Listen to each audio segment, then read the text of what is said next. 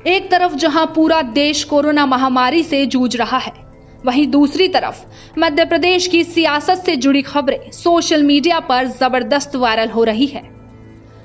दरअसल social media पर BJP में शामिल हुए नेता ज्योतिरादित्य सिंधिया के पार्टी छोड़ने की खबर वायरल हो रही है। सबसे पहले वायरल पोस्ट पर एक नज़र डालते हैं।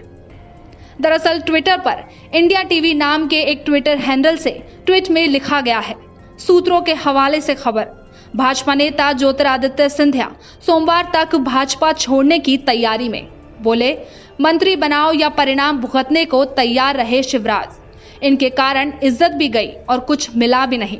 मामा और मोदी ने मिलकर फंसाया। जब सोशल मीडिया और सियासत की बात हो तो लोगों तक ऐसी खबरें पहुँचने में देर नहीं लगती। बता दें कि ट्वीट किए जाने के तुरंत इस ट्वीट को हज़ारों यूज़र्स ने लाइक किया। और रीट्वीट किया। सोशल मीडिया यूज़र समझ रहे हैं कि ये tweet news channel India TV का है। इसे फेसबुक पर भी बहुत से लोग शेयर कर रहे हैं। आपको बता दें कि इस ट्वीट को लोग इसलिए शेयर करना शुरू कर दिए क्योंकि ये tweet India TV news channel से मिलता जुलता लोगों का फ़ोटो लगा हुआ था।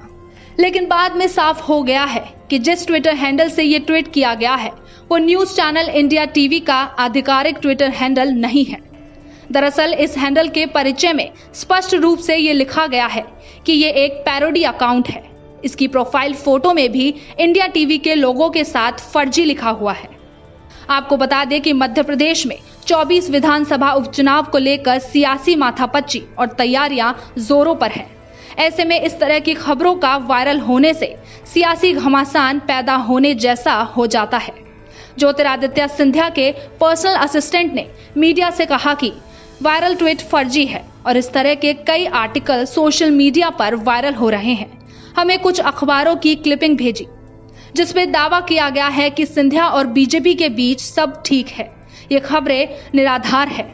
इन्हें कांग्रेस ने छपवाया और प्रसारित किया है।